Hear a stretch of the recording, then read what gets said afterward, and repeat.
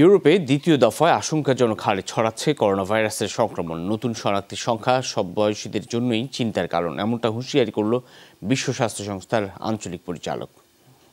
The September case numbers, however, সম্মিলিত প্রচেষ্টায় June মাস পর্যন্ত নিয়ন্ত্রণে রাখা গেছে করোনা ভাইরাসকে কিন্তু সেপ্টেম্বরে মহাদেশে সংক্রমণ শনাক্ত আশঙ্কাজনক হারে বেড়েছে যা সবার জন্যই সতর্ক বার্তা। ইউরোপীয় দেশগুলোর প্রতি আহ্বান কোভিড নাইন্টিন খুবই নির্দয়।